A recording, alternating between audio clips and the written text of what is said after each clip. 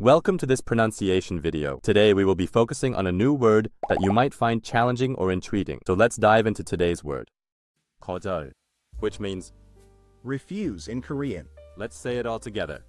거절. 거절. 거절. One more time. 거절. 거절. 거절.